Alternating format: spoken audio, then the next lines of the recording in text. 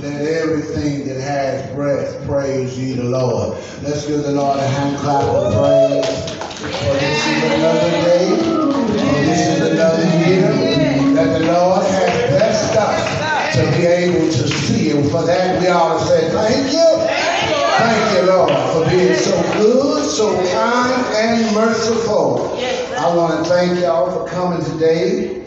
I want to welcome our guests and friends and visitors to New Caledonia Baptist Church in Rockwall, Texas. Uh, we come to celebrate the name of Jesus. We come to lift up the name of Jesus. Is anybody here with me? Lift it up. This is the first of the new year. Uh, we ought to be refreshed and ready to run. Amen.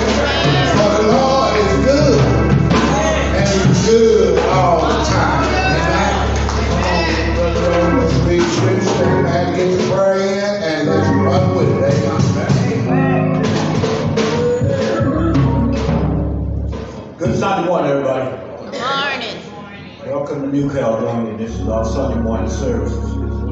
Listen, everybody is here and everybody desires to be here. And I think to myself, is there any other place you want to be today? No. I mean, All right in fact, I'm going to read from Psalms number 135. Praise the Lord. Praise ye the Lord. Praise ye the name of the Lord. Praise him, O servants of the Lord. Yet they stand in the house of the Lord, and the courts of the house of God.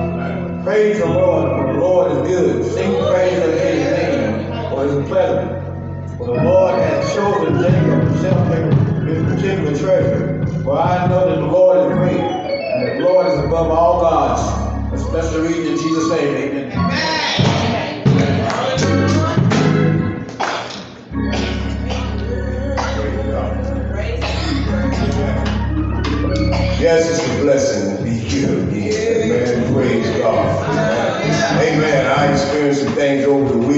Blessing. I want to thank Him this morning for touching each and one of us, waking up to a day that wasn't promised. I thank you, Lord. For even these limbs and things are aching and but God, you still got me here. Praising you. So I want to do what God calls. I want to lift you up and praise you. Amen.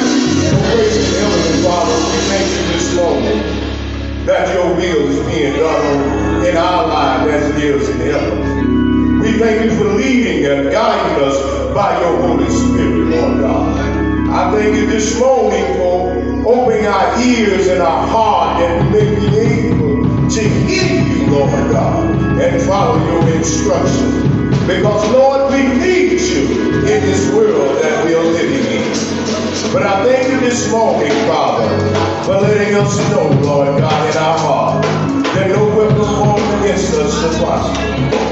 And God, even if the time here has run out, Lord God, we know that you've been ready to replace, prepare a place for us, Lord God, that we will be able to rejoice and be with you, Lord God. So, Father, we thank you this morning. We ask the Holy Spirit, and we know that you have prepared our pastor with a word upon our heart, Lord God, that we may receive it.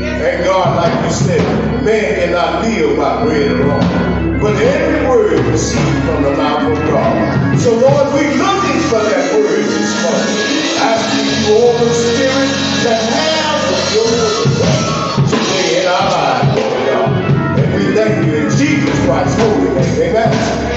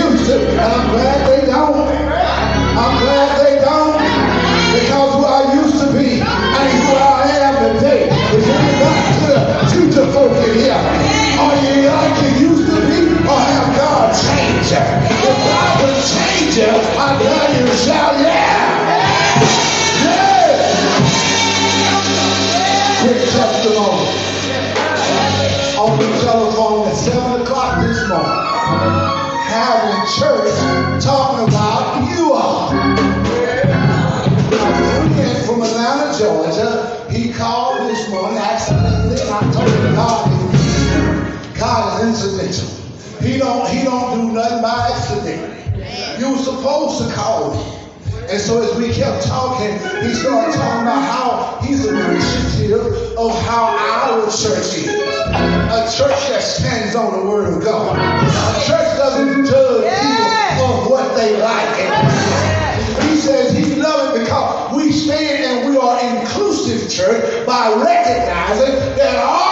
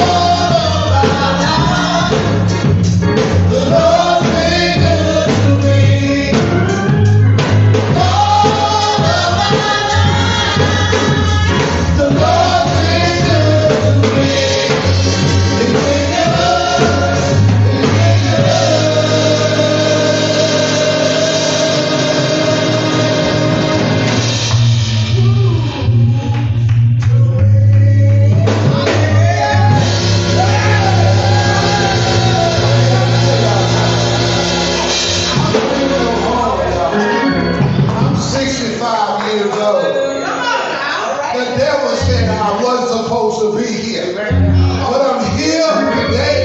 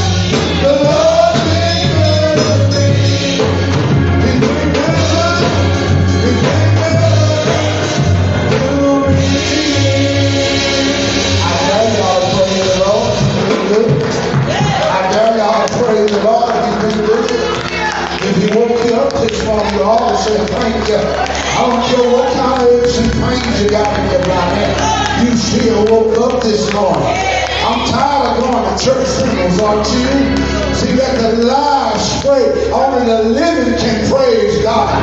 See, I'm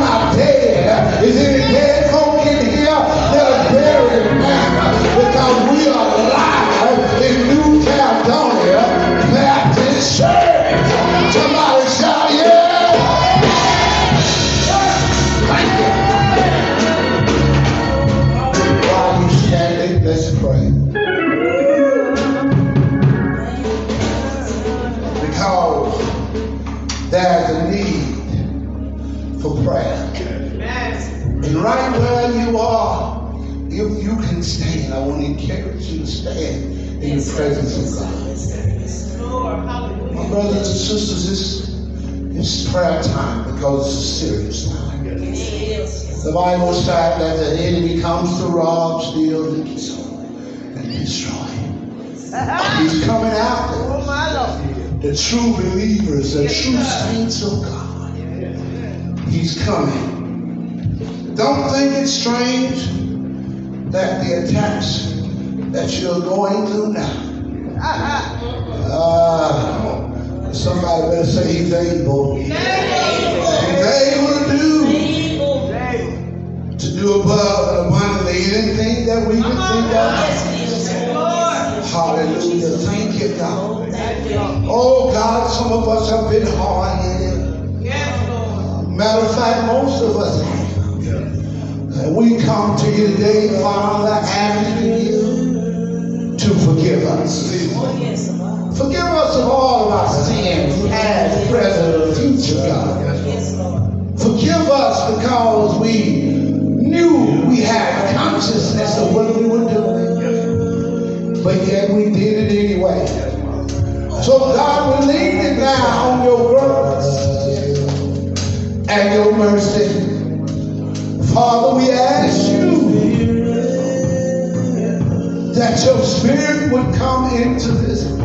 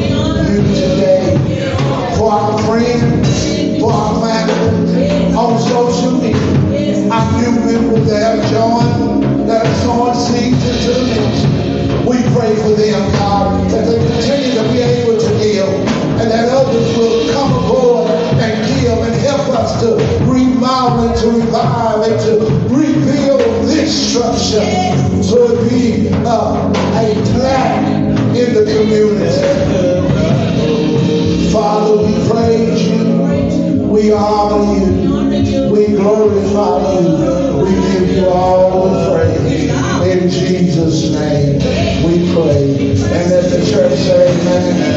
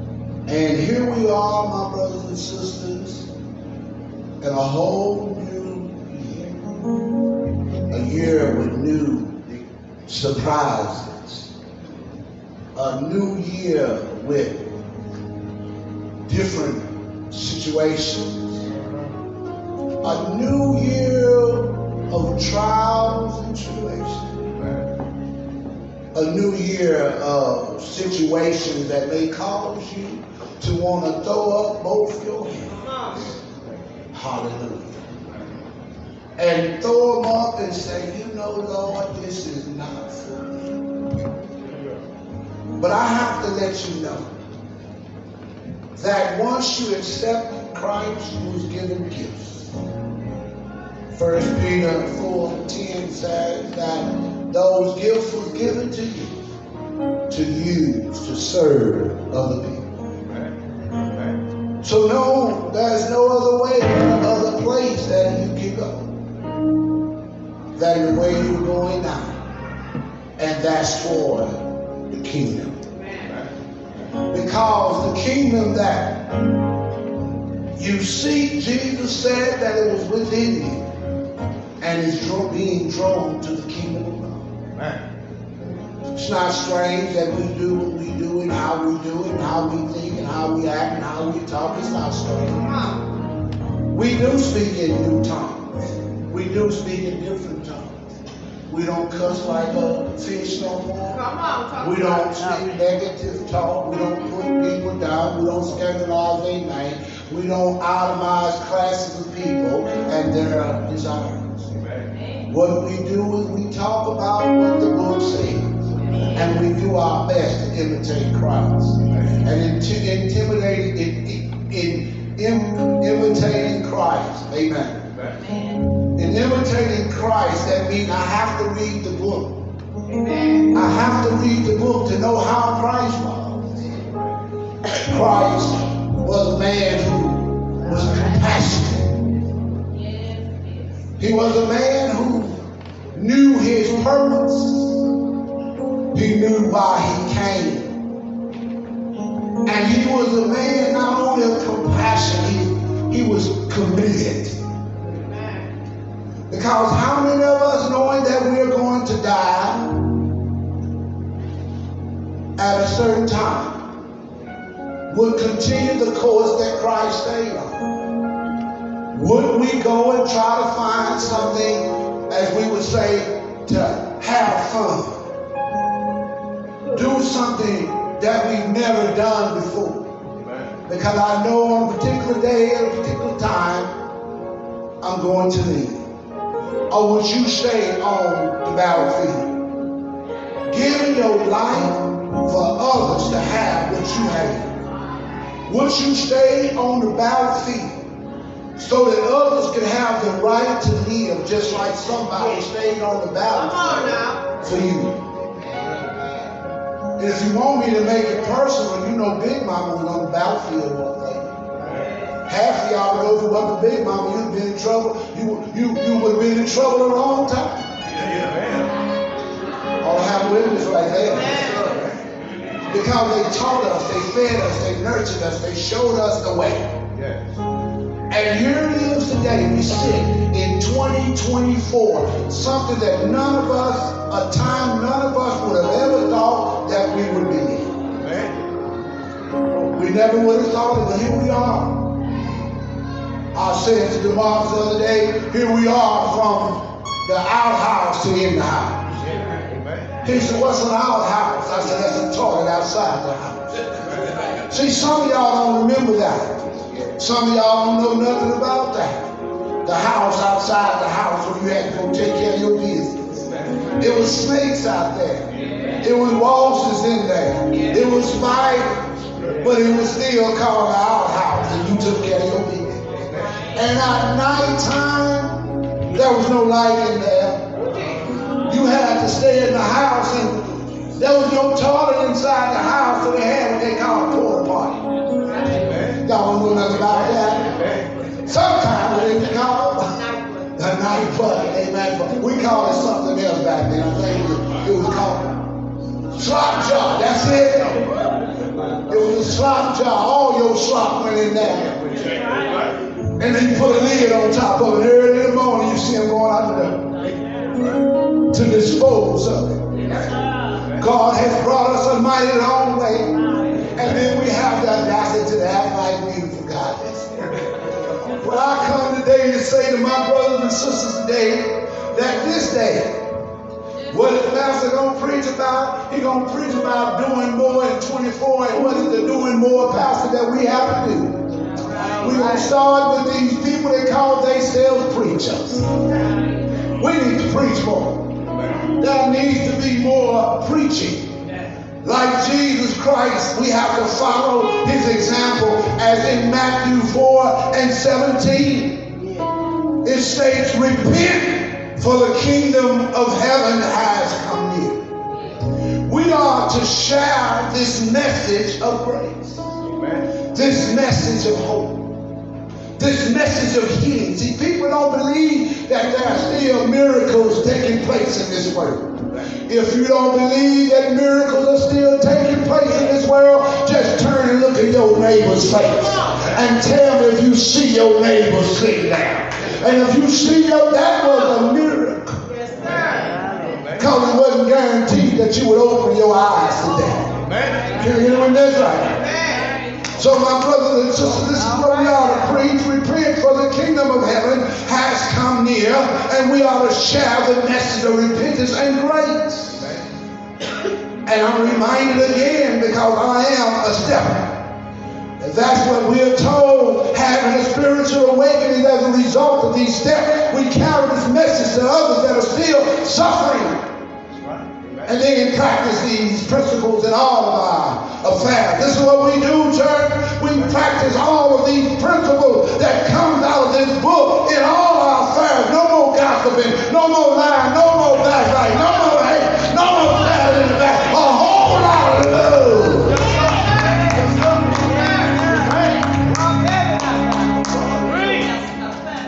We gotta preach.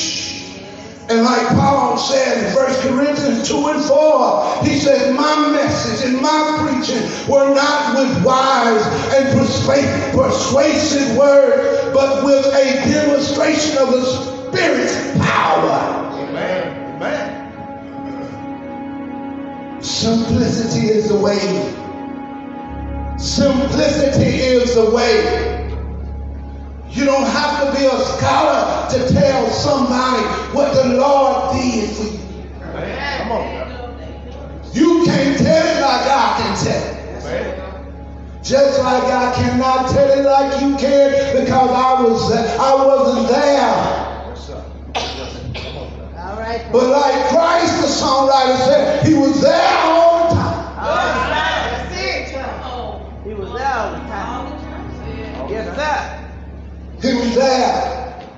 So I would charge my brothers and sisters that we are to keep it simple and share the word of God and understand that all of us have been called to share God's word. If you don't believe me, amen, let's look at Acts chapter 1 and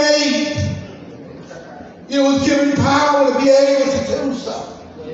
After the Holy Ghost have come upon you, you shall receive power to be my witnesses in Jerusalem, Judea, Samaria, and all other parts of the world. Yes, sir.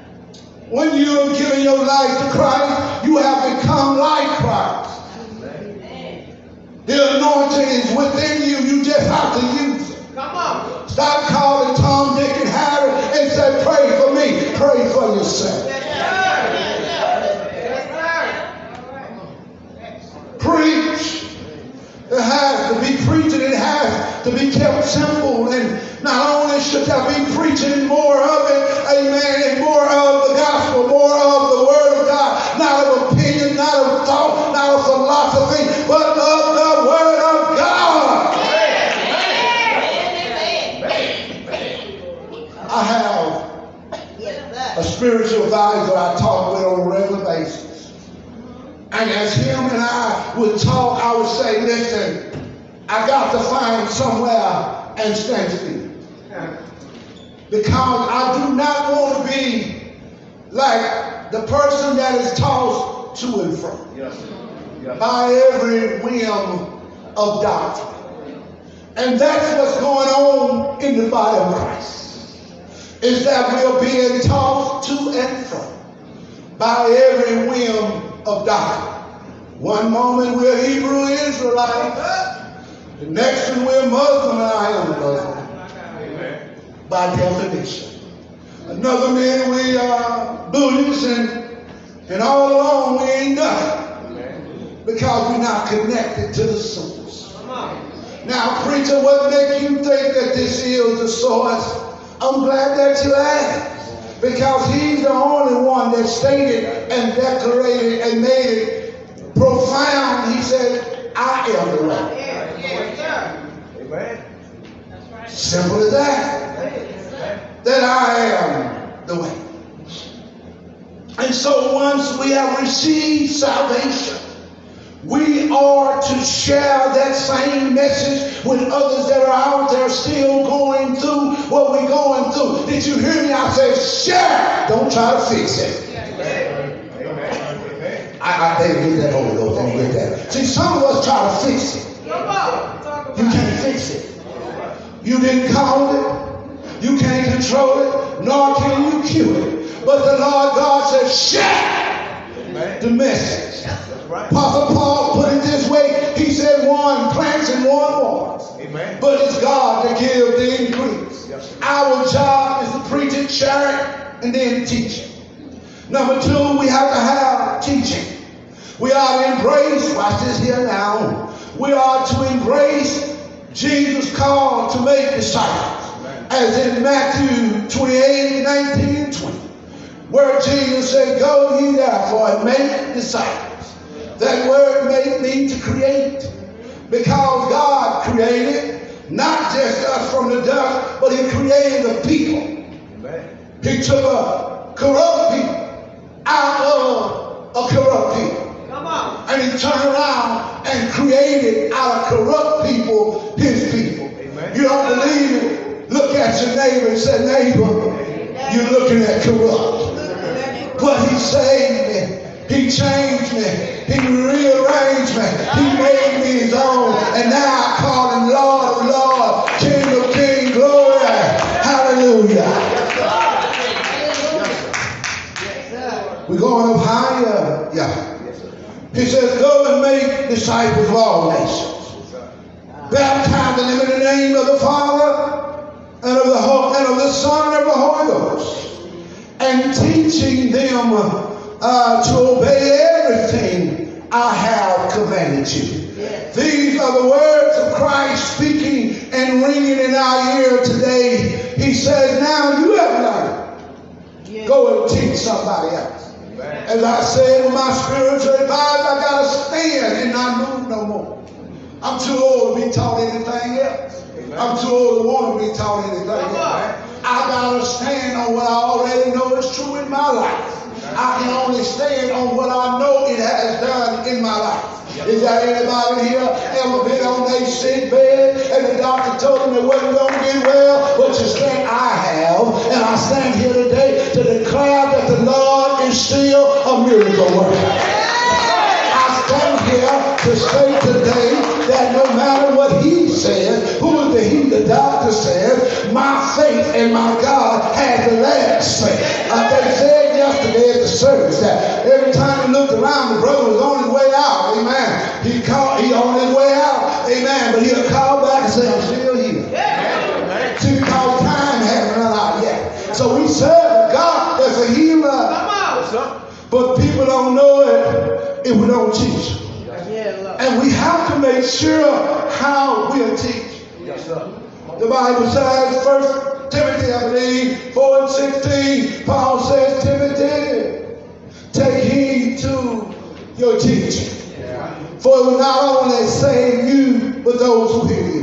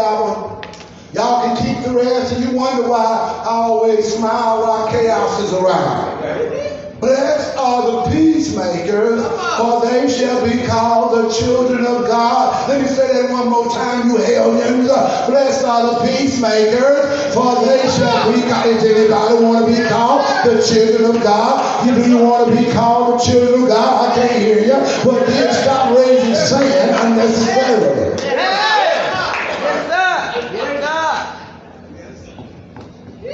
Not only that. Stand on the word. Amen. Yeah. Should there be preaching? Amen. Teaching. There should also be more witnessing. Hmm. I was thinking this morning, I said, Reverend Allen, anything have to be preaching now at your uh, suburban? Because with Reverend Allen, you still see him anywhere. 80 what? 81. I'll be crying because I'm driving 65, can't stay in the lane. Allen is in the lane, he's going a little slow, but in the lane. Amen. I, I can't, I can't, I look down that road, and for those of y'all watching what I was doing behind me, I tapped him because he wasn't doing what he was supposed to do. He wasn't doing what he asked to do. But then I thought, one day, you're going to be that age. And you're going to have something to say. So I began to rub him in his back to talk to him, Dad. All right. You gotta learn to teach it. That's right. You don't just y'all gonna talk about teaching, you gotta learn to live. That's right. Yes, sir. You gotta Yes, live it. Not only before God, but before man. So Jesus said, he said, we ought to live out Jesus' teaching in actions and compassion.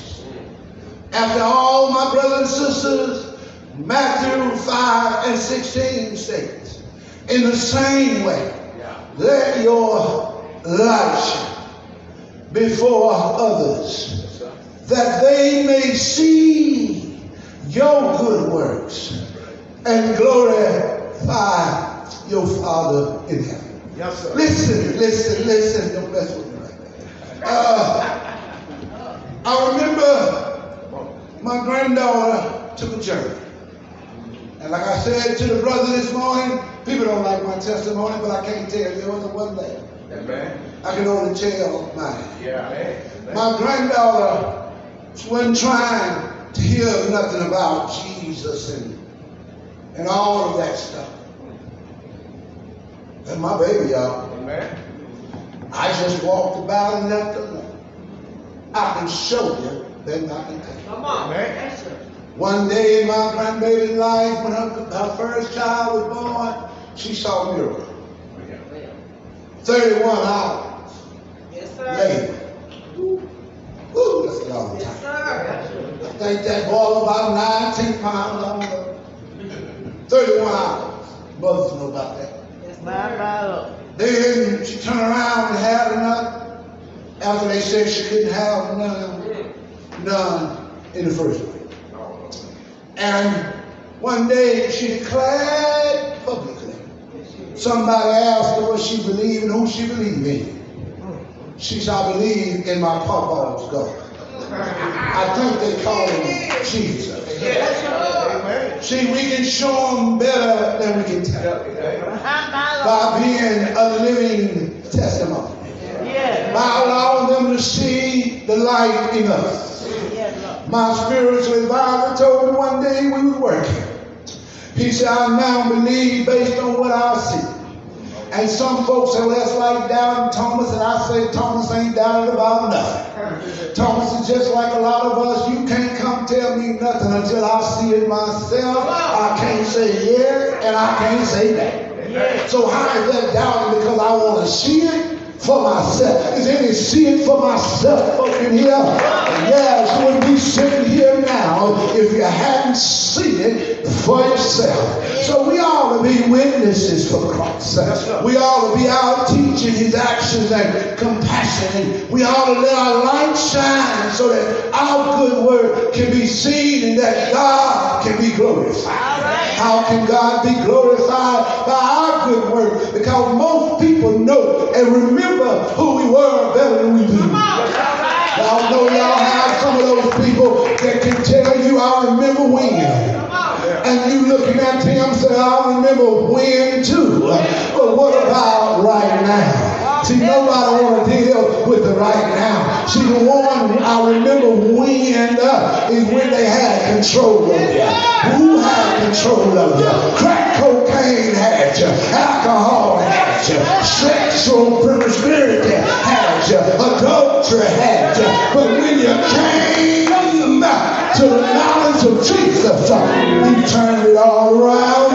How he turned it around? Because somebody told you, I know a man from Galilee. Is there anybody here that know a man from Galilee? We ought to be a living testimony, embodying uh, what Galatians 22, uh, 2 and 20 said. Paul said uh, to the Galatians, he said, I have uh, been crucified with Christ. I no longer live, but Christ lives in me. And the problem is, some of us are still uh, trying to live and have not died and allow Christ uh, to live within them. Uh, you say, what are you talking about, preacher?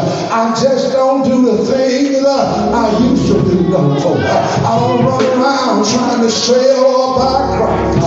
I don't run around as a trunk anymore. I don't run around showing people the love of God. I show people what it looks like being a servant of God. Everywhere go, I, I go in representation of God. And I go in representation of my church. Ain't God all right? So I go to live. Christ lives in me because I died. Yes, I did. November 1983. I'm dying, but I didn't stay there long.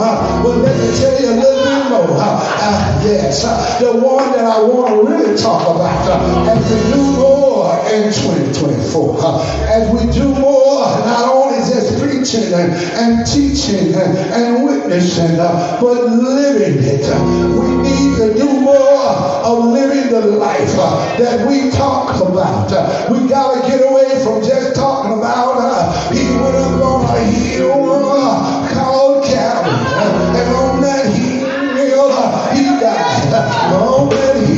that put my blood on the cross. On that hill, they nailed him in his hand. On that hill, they put nails in his feet.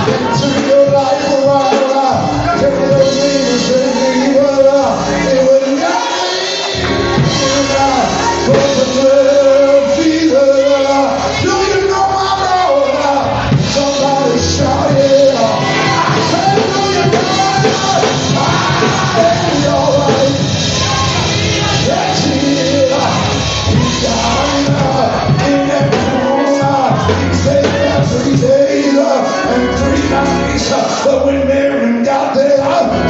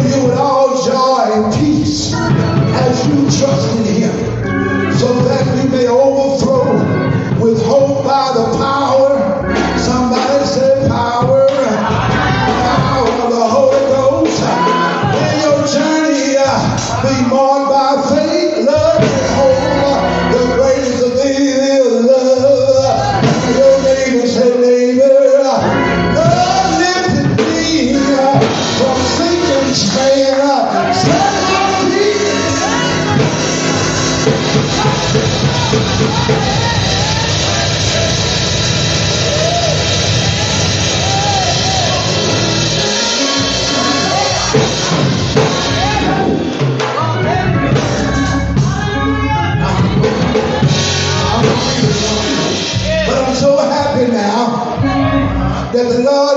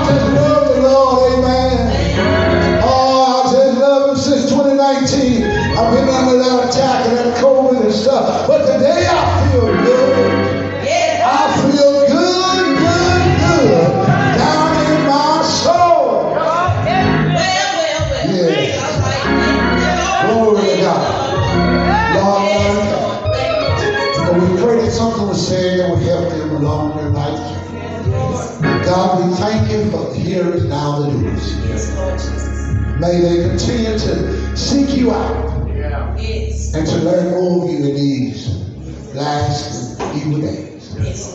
So, Father, we thank you for all of our faithful fathers. We thank you for our faithful contributors. So, God, we just ask that you bless them too in their giving. Father, we praise you and honor you right now in the name of Jesus Christ. And to all of our friends on Facebook.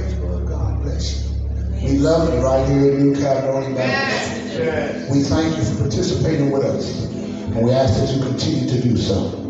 Until we meet again, Happy New Year to you again. And do more in 2024 than what you did in the past. We have no more time. Time is coming to an end. So what time we have left, let's help somebody else.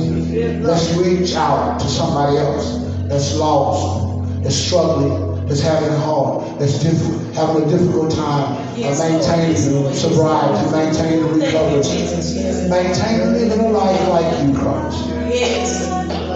We want yes. to say, yes. we love you. Our phone number is on our page. If you need to call the preachers, you can call.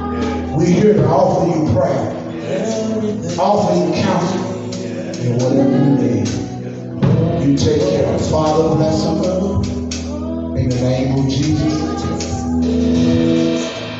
Everything to me.